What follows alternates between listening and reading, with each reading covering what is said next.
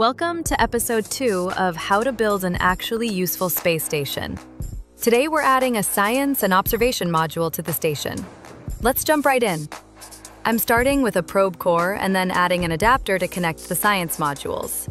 I decide to add two and then also add a cupola pod at the top. For better control of this module, I also add some SAS and some RCS to make sure we can dock.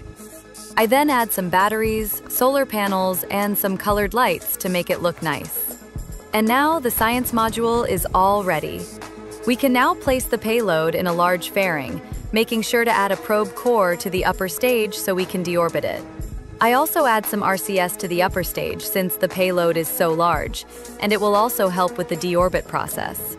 Because our upper stage is so efficient, we only need a fairly small launcher stage, I decide to add a large 3.5 meter tank and the Mammoth engine. And just like that, we're ready to launch. Now, before we can launch, we need to wait until we pass under the orbit of the station to match its plane. If you're not sure what this means, check out my video on how to rendezvous with any target in an arbitrary orbit, which explains it in more detail. We can then proceed with standard rendezvous procedures. When we arrive, we can ditch the upper stage, making sure to deorbit it.